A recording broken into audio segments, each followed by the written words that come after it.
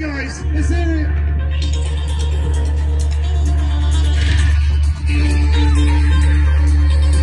Lots more great stuff still to come. Stick around right now. We have DJ Pulse.